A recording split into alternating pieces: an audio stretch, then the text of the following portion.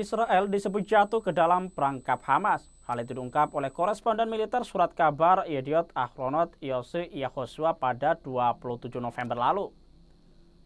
Jurnalis Israel itu mengatakan bahwa Hamas dan pemimpinnya Yahya Sinwar telah memanipulasi Israel sehubungan dengan jeda kemanusiaan. Yahosua menambahkan bahwa Hamas sedang menentukan syarat-syarat perjanjian dengan Israel – mulai dari jumlah warga Palestina yang dibebaskan serta identitas tawanan perang Israel yang ingin dibebaskan. Yosua bertanya mengapa tentara pendudukan tidak melancarkan serangan darat besar-besaran terhadap Khan Yunis dan Rafah di jalur Gaza Selatan pada saat yang sama ketika mereka melancarkan serangannya ke Gaza Utara. Seperti diketahui dalam agresi militernya ke Gaza, IDF membagi wilayah kantung itu menjadi dua bagian, utara dan selatan.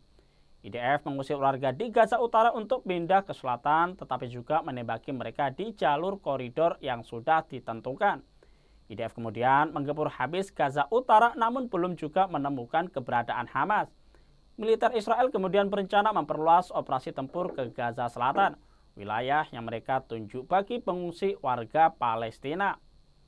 Sebelum itu dilakukan, Hamas memaksa mereka untuk melakukan pertukaran tahanan dalam skema gencatan senjata bertajuk jeda kemanusiaan. Dia juga menggarisbawahi saat-saat penghinaan yang dialami Israel pada Sabtu pekan lalu ketika Hamas memutuskan untuk menunda pembebasan tahanan gelombang kedua. Ia mengutip forum militer yang mengatakan bahwa perang tidak akan membuahkan hasil jika tidak menguasai perbatasan dengan Mesir.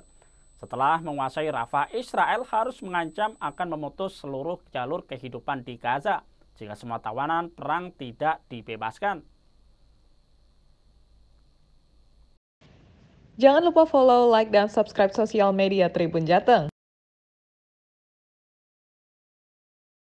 Download Tribun X sekarang, menghadirkan lokal menjadi Indonesia.